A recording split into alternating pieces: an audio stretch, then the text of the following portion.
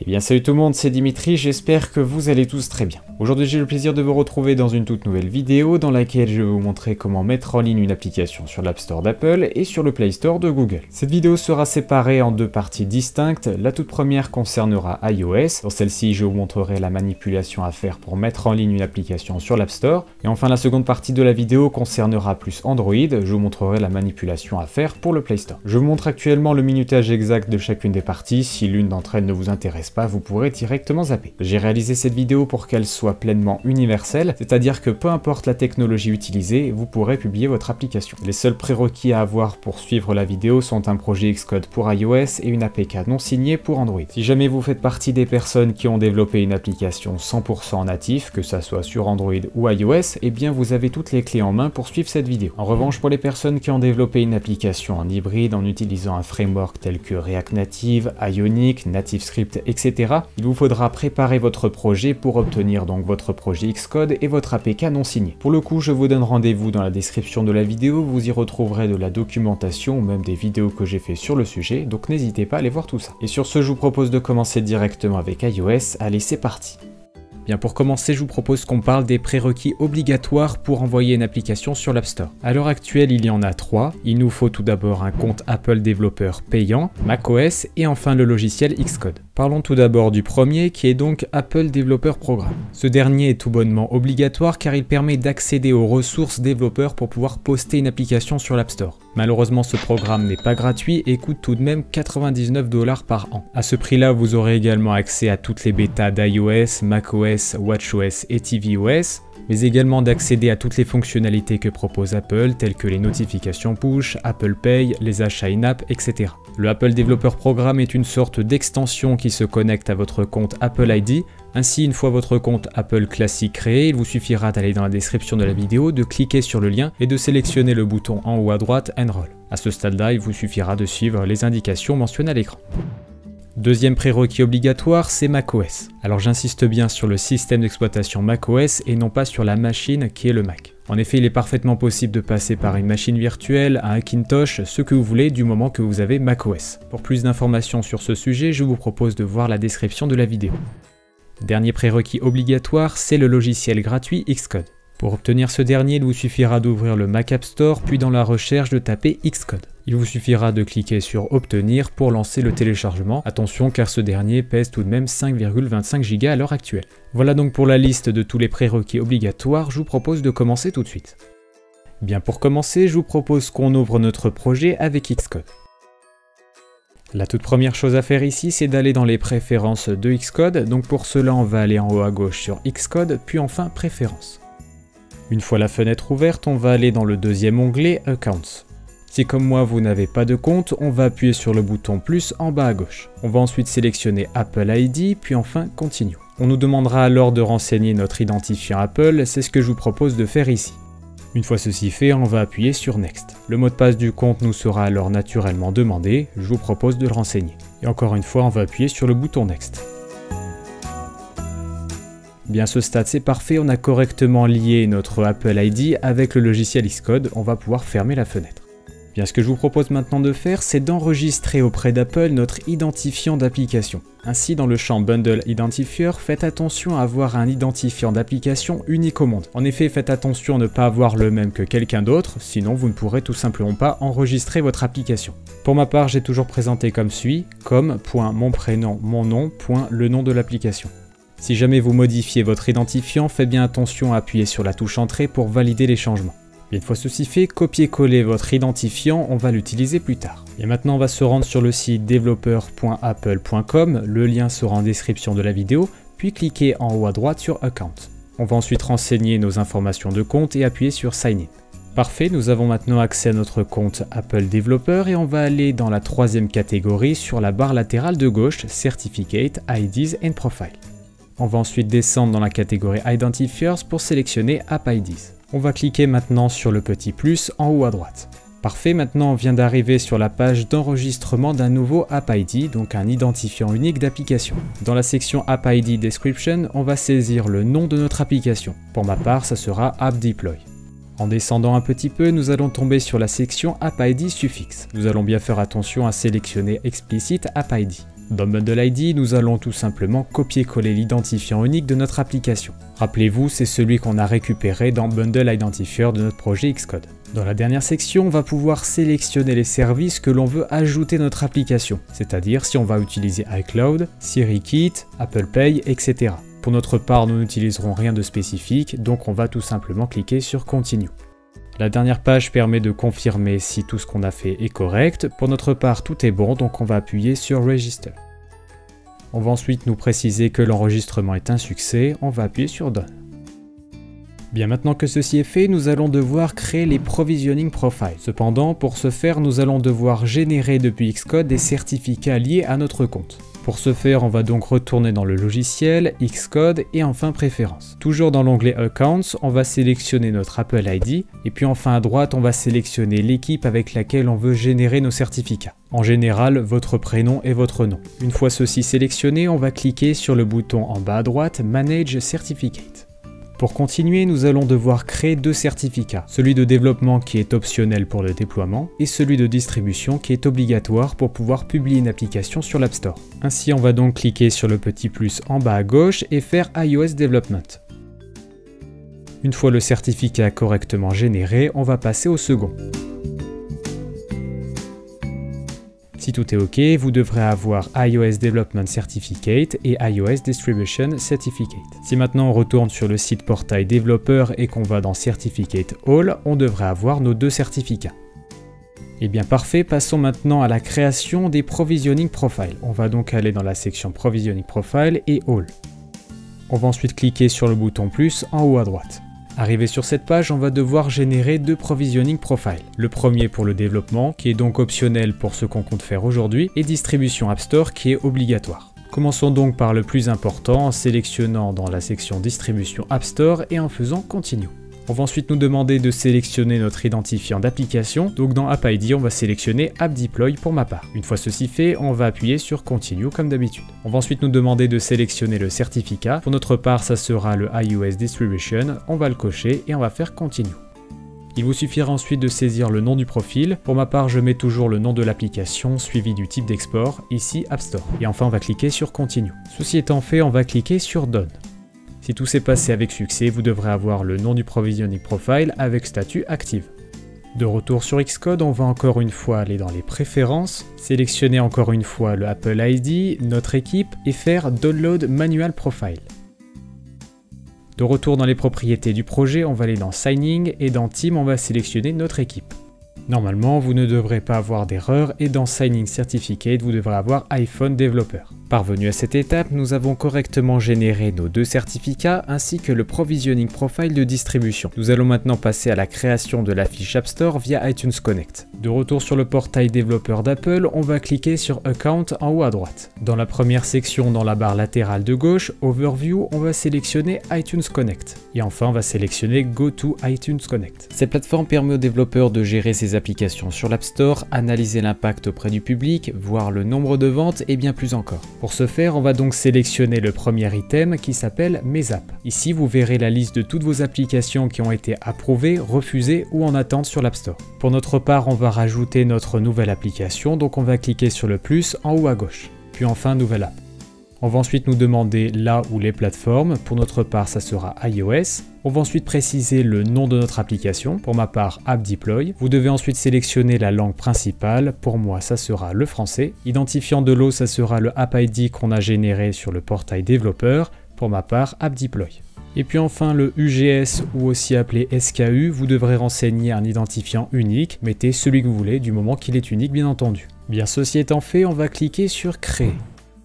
Parfait, on a maintenant créé notre application sur iTunes Connect. On va maintenant devoir renseigner des informations obligatoires. Dans Informations générales, on va tout d'abord devoir renseigner la catégorie de l'application. On va ensuite devoir saisir le nom de l'application, le sous-titre, c'est facultatif, mais également la traduire en différentes langues si jamais. Dans la colonne de gauche, on va saisir maintenant tarif et disponibilité. Dans cette section, il vous sera possible de sélectionner le prix de votre application. Pour la vidéo, je vais la mettre gratuite et je vais enregistrer. Bien maintenant, on va passer dans App iOS et finaliser avant soumission.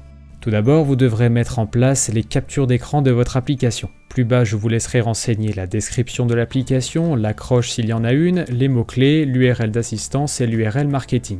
Vous devrez également mettre en place l'icône qui sera visible sur l'App Store. Cette image doit être en résolution 1024 par 1024, sans transparence et sans coin arrondi. Vous devrez également renseigner le copyright, vos coordonnées pour qu'on puisse vous contacter s'il y a un souci. Et puis enfin en bas de page, si vous souhaitez que la version soit publiée manuellement, c'est-à-dire par vous-même, ou automatiquement une fois la validation terminée.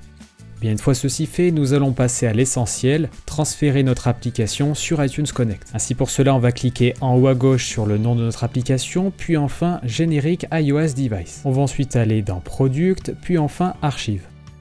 Notre application va alors se compiler. Une fois ceci fait, l'organiseur va alors s'ouvrir, on va sélectionner l'archive qu'on vient de faire aujourd'hui, puis enfin cliquer sur Upload to App Store. Par défaut, on va laisser cocher cette case et on va faire Next. On va ensuite sélectionner Manually Manage Syncing et enfin Next. Sur la seconde page, on va sélectionner Default iOS Distribution et en tant que profil, on va sélectionner App Deploy App Store, puis ensuite cliquer sur Next. Et puis pour terminer, il nous suffira juste à cliquer sur Upload. Eh bien c'est parfait, notre upload s'est terminé avec succès. À partir de ce moment-là, on va devoir retourner sur iTunes Connect, puis enfin aller dans Build, et on va devoir attendre quelques minutes, parfois quelques heures, pour que la version envoyée depuis Xcode soit traitée par Apple. Après avoir rechargé la page, vous devrez voir un petit plus à côté de Build et le message Sélectionnez une build avant de soumettre votre app. En cliquant sur ce dernier, vous allez devoir sélectionner la version envoyée depuis Xcode. Il vous suffira ensuite d'appuyer sur Terminer. Et bien voilà, tout est prêt, on va maintenant appuyer sur Enregistrer. Il vous suffira de finaliser la description de la fiche App Store, rajouter les captures d'écran, rajouter la description, etc. et cliquer tout simplement sur Soumettre pour vérification en haut à droite. Et bien voilà ce qui conclut la partie sur iOS. À ce stade, notre application est correctement mise en ligne sur l'iTunes Connect. On a également rempli la fiche App Store, le titre, la description, les captures d'écran, etc. Maintenant, il ne nous reste plus qu'à soumettre notre application à l'équipe de validation d'Apple qui se chargera d'accepter ou non notre application sur l'App Store. Et maintenant, il ne nous reste plus que la partie sur Android à aborder, je vous propose qu'on commence tout de suite. Tout comme sur iOS, il faut savoir que publier une application sur le Play Store nécessite des prérequis obligatoires. Bon, on ne va pas tourner autour du pot pendant des heures, il suffit juste d'avoir un compte Google Play développeur. Celui-ci est payant et coûte 25 dollars à vie. Pour obtenir ce compte, je vous mettrai dans la description de la vidéo un lien, il vous suffira de cliquer sur ce dernier et de suivre les étapes. Contrairement à iOS, vous pourrez utiliser n'importe quel système d'exploitation pour envoyer votre application sur le Play Store, Windows, Linux ou macOS.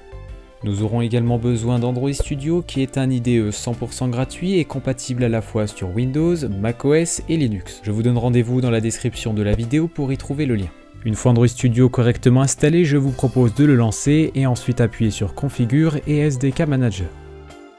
Bien arrivé sur cette page, je vous recommande d'installer les versions majeures d'Android, ça peut servir notamment pour débugger une application. Pour ce faire, il vous suffit de sélectionner toutes les versions désirées, puis d'appuyer sur Apply en bas à droite. Une fois ceci fait, on va se diriger sur le second onglet qui s'appelle SDK Tools. Une fois la nouvelle fenêtre ouverte, on va sélectionner le premier item qui s'appelle Android SDK Build Tools. A noter que la version qui suit peut bien entendu changer dans le temps, mais ça ne changera réellement rien pour nous. Une fois ceci coché, on va appuyer encore une fois sur Apply. On va ensuite confirmer en appuyant sur OK.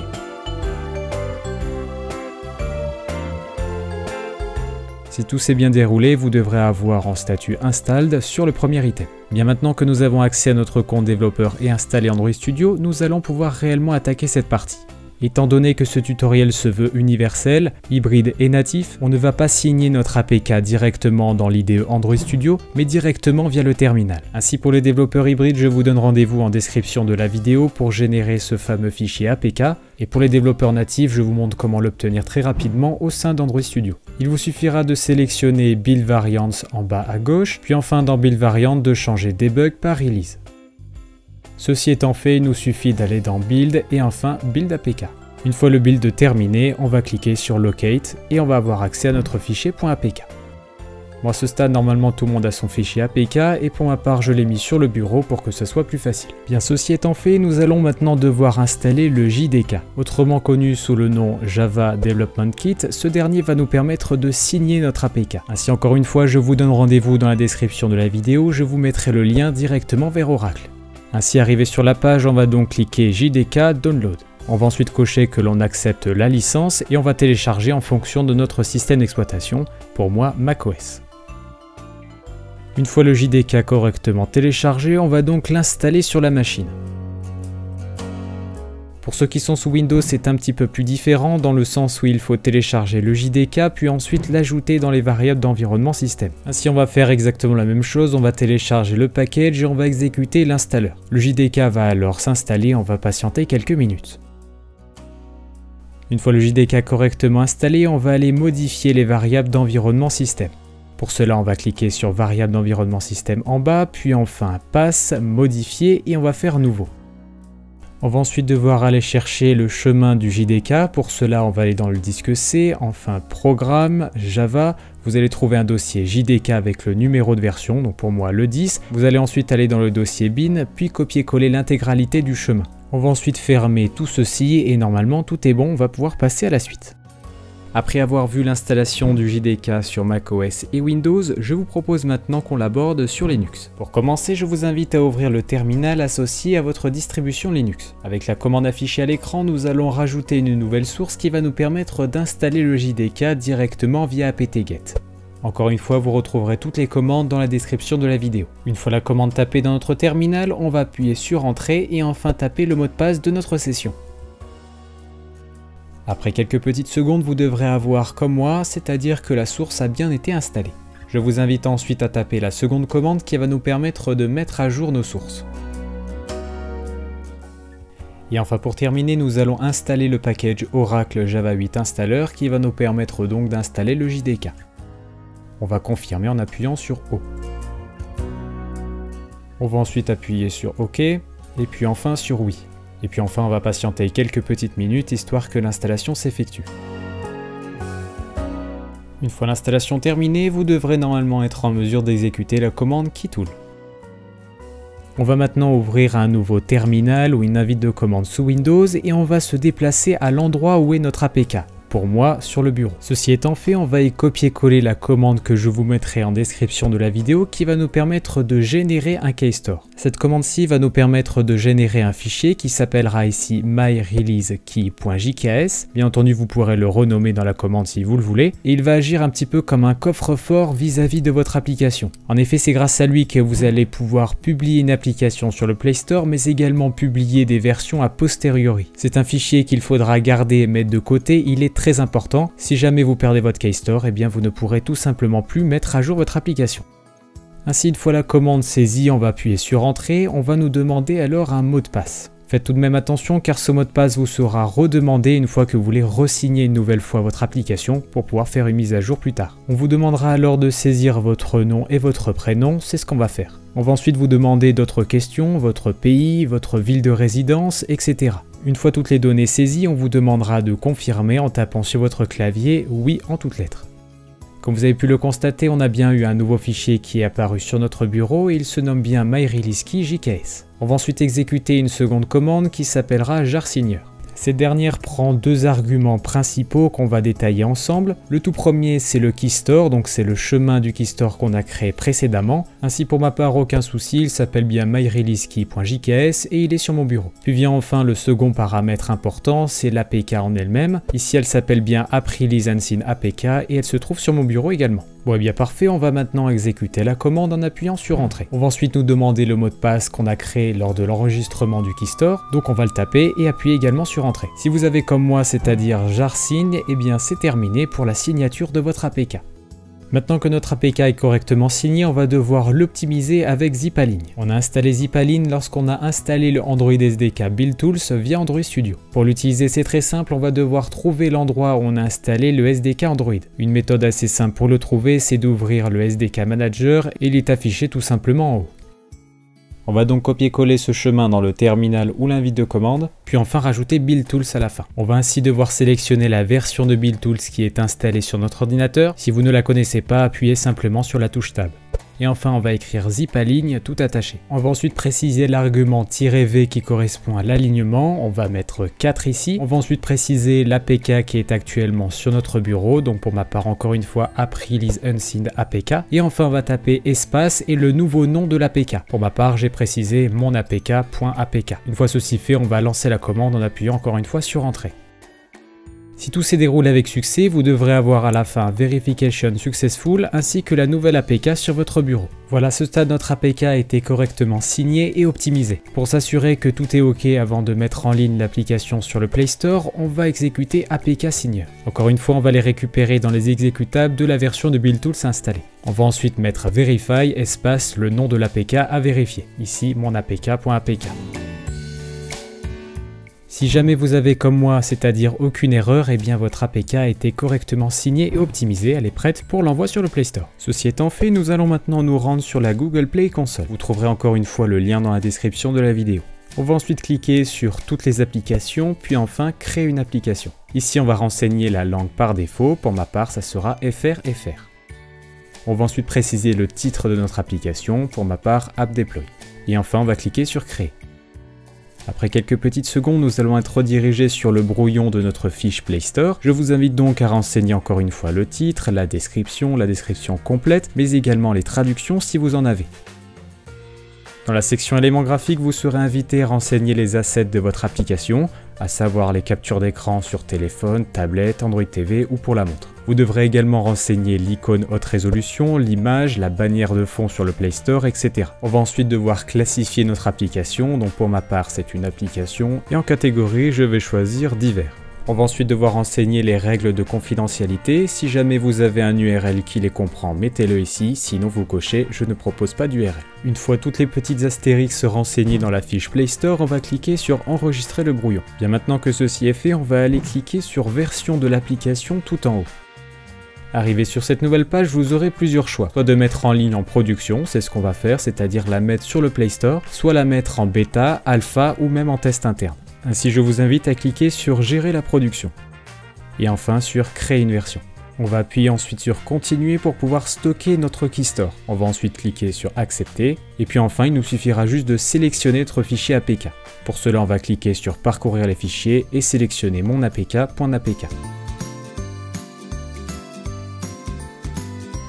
Après quelques minutes et si tout s'est passé avec succès, vous devrez avoir une nouvelle entrée qui doit s'afficher juste en dessous. Dans cette dernière, vous devrez voir le logo Android, le code de la version actuelle et le bouton supprimer. Tout en bas, vous devrez confirmer le numéro de la version, pour ma part ça sera la 1.0.0, et puis enfin les nouveautés qu'il y a dans la version actuelle, donc moi ça sera la version initiale. On va ensuite cliquer sur le bouton enregistrer, puis enfin vérifier.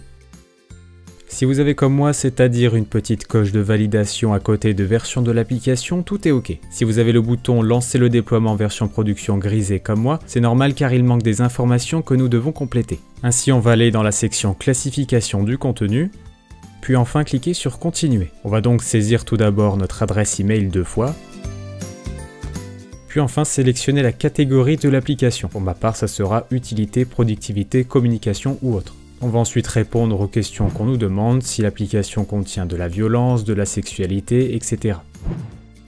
Et enfin, on va faire enregistrer le questionnaire. Et pour terminer, attribuer une classification. Et on confirme en cliquant sur attribuer la catégorie de classification.